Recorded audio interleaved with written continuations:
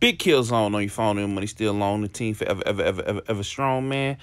Michael B. Jordan says, hey, yo, PlayStation, we got to get Capcom to go and get Marvel vs. Capcom 2 on the PS5.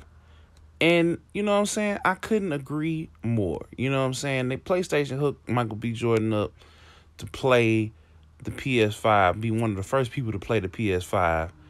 And um, you know, this was his post when he posted up, you know, the partnership. You know, he kept it real. Um, and this is why I might like Michael B. Jordan because he always keeps it real. You know what I'm saying? He always keeps it real. He always keeps it honest.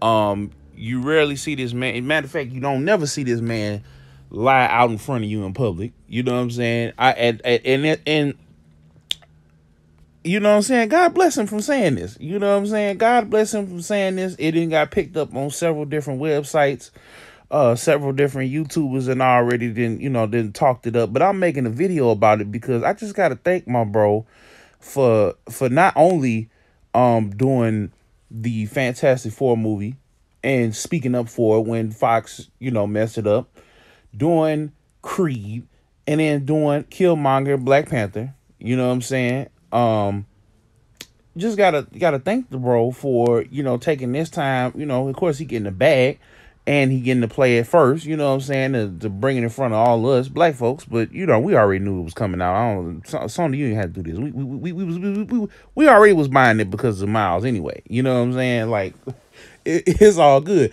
But did you got with the good brother to you know buzz a check down with him? We appreciate you. So um y'all make sure that y'all go follow Michael B. Jordan and y'all go follow PlayStation. You know they doing the Travis Scott collab too. So um yeah, man, get let's let's get it. Let's let's get it. We need Marvel vs. Capcom 2 on PS5. Matter of fact, we need a Marvel vs. Capcom collection with all the games on PS5. And um yeah, it's your boy, Big Killzown on your phone, the money still on, DJ Killzown Jones, remember the name. Or remember you lame. And y'all make sure y'all like, comment, share, subscribe for the one time. Hit the notifications bell so you can tell when I upload and go live. We out. Peace.